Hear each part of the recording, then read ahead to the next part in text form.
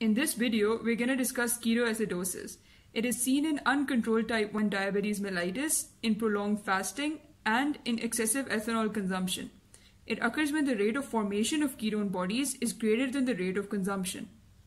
If the formation of ketone bodies is greater than their consumption, then obviously हमारे blood में भी ketone bodies की concentration increase करेगी जिसको हम ketonemia कहते हैं नॉर्मली हमारे ब्लड में कीरोन बॉडीज की concentration approximately three milligram per decilitre होती है but in ketoacidosis this amount increases to ninety milligram per decilitre अगर कीरोन बॉडीज की कॉन्सेंट्रेशन ब्लड में इंक्रीज करिए तो ऑब्वियसली यूरिन में भी करेगी।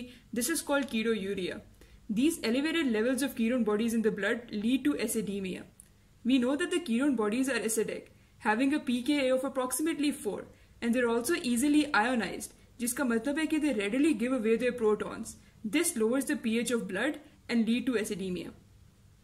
Now let's come to diabetic ketoacidosis. In uncontrolled type 1 diabetes, हमारे blood में glucose और ketone bodies की concentration ज़्यादा होती है. This leads to urinary loss of glucose and ketone bodies, which ultimately leads to dehydration.